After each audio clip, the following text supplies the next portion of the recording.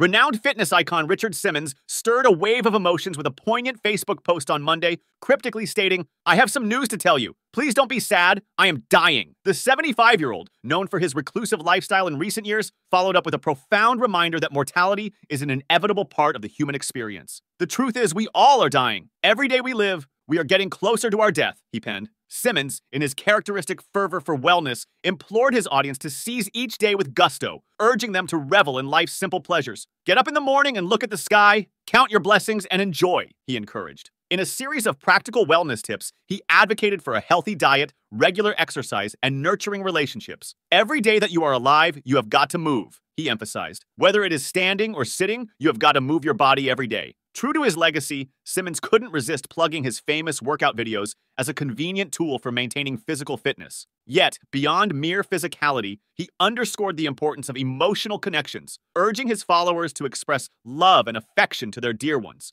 Tell the ones that you love that you love them, he implored. Hug those people and children who you really care for. A big hug really goes a long way. Despite the initial shock of his proclamation, Simmons swiftly clarified that his message was not a harbinger of imminent demise. Expressing regret for any distress caused, he clarified that his intent was purely motivational. I am not dying. It was a message about saying how we should embrace every day that we have, he reassured. Simmons' retreat from the limelight since 2014 has been marked by occasional glimpses into his private life, often shrouded in mystery and speculation. Rumors of his kidnapping by his housekeeper in 2017 were swiftly dispelled by authorities, adding to the enigmatic aura surrounding his absence from public view. In a rare public statement in January 2024, Simmons vehemently opposed a proposed biopic about his life, asserting that he had not granted permission for such a project. His withdrawal from the public eye, coupled with this declaration, underscored his preference for a quiet existence away from the glare of celebrity.